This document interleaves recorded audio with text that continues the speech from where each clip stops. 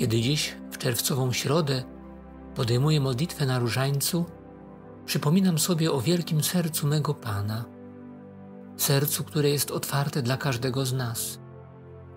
Wiem, że najbardziej idealnym odbiciem tego boskiego serca jest serce Maryi, tej, która w swoim matczynym sercu nosiła wszystkie sprawy Jezusa.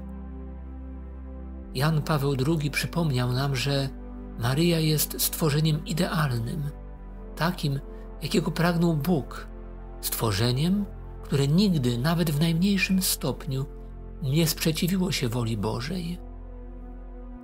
W codziennym różańcu patrzymy na Maryję, bo ona jest dla nas wzorem do naśladowania. Nasze serca często błądzą, ulegamy negatywnym emocjom, zmysłowości, a co najtrudniejsze, szukamy swoich ścieżek, bo nie pasują nam drogi Boże.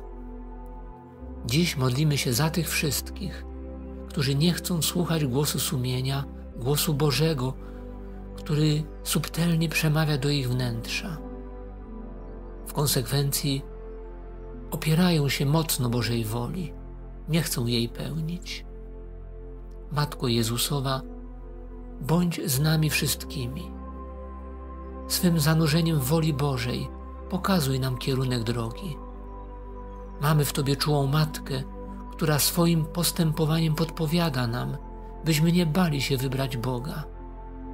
Powiedzieć naszym sercem tak wobec Jego wielkiego serca, serca pełnego miłości do nas.